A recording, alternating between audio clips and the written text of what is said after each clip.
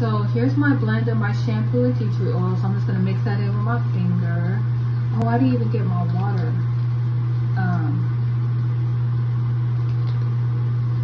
so I'm just gonna mix this in really good.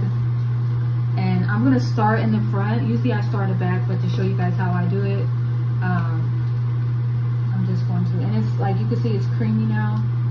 Um, so, and also I got my derma roller. So what I do is I just separate my hair like this and I just roll it like this.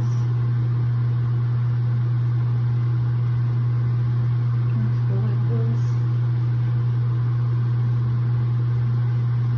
And then I just wet my hair. Usually I have my spray bottle, but I forgot to grab it.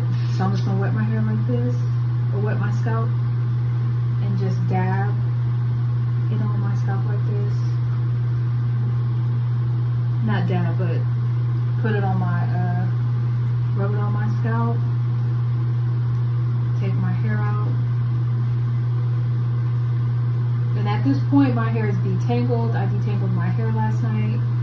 Um, and I pre-pooed it so it's all ready to go. Just wet my hair. Y'all can see the length of it.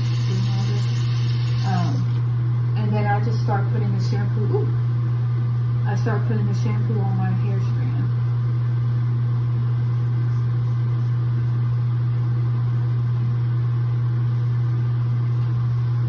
And I'll do that throughout.